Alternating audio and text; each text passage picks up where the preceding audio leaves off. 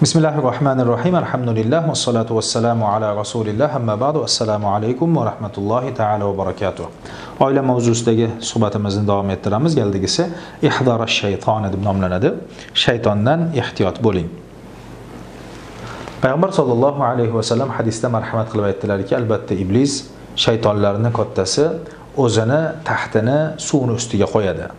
Suvni ustiga qo'yadida askarlarini iblislarini kichkinalarini shaytonvachchalarini insonlarni o'rtasida ig'vo qilishga yuboradi. Hammasi ig'vo qilishga ketadi. Va ular kechqurun qaytib kelishadi. Kechqurun qaytib kelib kattalariga hisobot berishadi. Hammasi qilgan ishi haqida xabar beradi. Bittasi aytadi man uni falon qildim falon ig'vo qildim fiston qildim deydi. Shayton ma faalta ma sanata shayan. Biron bir narsa qilmabsan deydi. masalan namozini o'qitmadim ro'zasini tuttirmadim falon falon ishni qildirdim hech narsa qilmabsan deydi. Yana boshqasi shunaqa deydi unga ham hech narsa qilmabsan deydi. Va yana bir shaytonvachcha keladida aytadiki ma taraktuhum hatta farraqtu baynahum.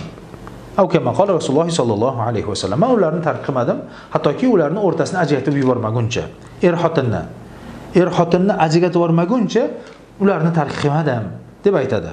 U uni o'ziga yaqin qiladi va aytadi ni'ma anta. San naqadar yaxshisan naqadar yaxshisan deb ularni uni darajasini ko'taradi deb payg'ambar sollallohu alayhi vasallam marhamat qildilar. Demak e, shaytonni eng haris bo'ladigan ig'volaridan vasvasalaridan bittasi bu er xotinni o'rtasini ajratish hammamiz o'zimizni oilalarimizga nazar solib qaraydigan bo'lsak bizni ko'p oilada urushgan narsalarimiz juda oddiy narsalar. Er xotin o'zaro gaplashib o'tiradi. Gaplashib o'tirib mayda chuyda narsa bilan urushib qoladi. Mayda chuyda narsa bilan urushadi keyin haligi narsa kattarib ketib qolib ajrashishlikkacha boradi. Ha? Haqiqatiga yetib yetib borib tagiga yetib qaraydigan bo'lsak nimadan chiqdi o'zi janjal? Desa oq bilan qorani ajrata olmay qolganidan oddiy narsa yengil narsa bittasi sariq dedi bittasi oq dedi va hokazo shunga o'xshagan juda yam e'tiborsiz juda yam past narsadan urush janjal chiqqanligi ma'lum bo'ladi. Bu nima bo'ldi endi? Desa bu ular shaytonni vasvasasiga uchishdi. Shaytonni qiziqtirishligi uchishdi. Shayton qiziqtirdi erkakni ham pufladi ayolni ham pufladi. Ha uni gijgijladi. Bir biriga nisbatan gijgijlayverdi gijgijlayverdi oxiri kattarib demak oila buzilib ketishiga taloqqacha bordi. Bu shaytonni xursand qiladigan narsalardan bittasi. Biz o'zaro bir birlarimiz bilan bo'ladigan munosabatda har doim audu billahi minash shaytonir rojim. Ey olloh sandan marjum bo'lgan quvilgan toshbo'ron bo'lgan shaytonni sharidan najot so'rayman deb ishlarimizni boshlaymiz. Oila munosabatlarida ham xuddi shunaqa. Tinmasdan alloh subhanahu va taolodan najot so'raymiz.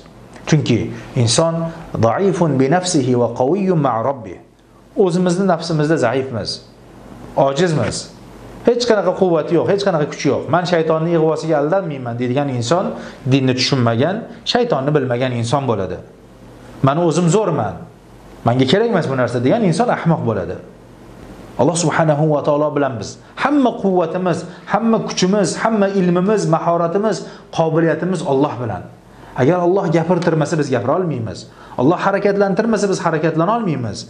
Olloh shaytondan bizga panohini bermaydigan bo'lsa biz najot topa olmaymiz.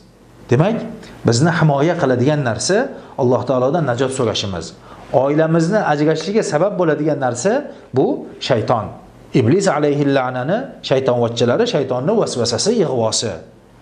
Va biz shaytondan ehtiyot bo'lishligimiz shaytonni bizni puflayotganligini bilib qolib o'sha ishda to'xtashligimiz g'azabimizni bosishimiz qahrimizni bosib oilani to'g'ri tasarruf qilishligimizda biz uchun najot bor.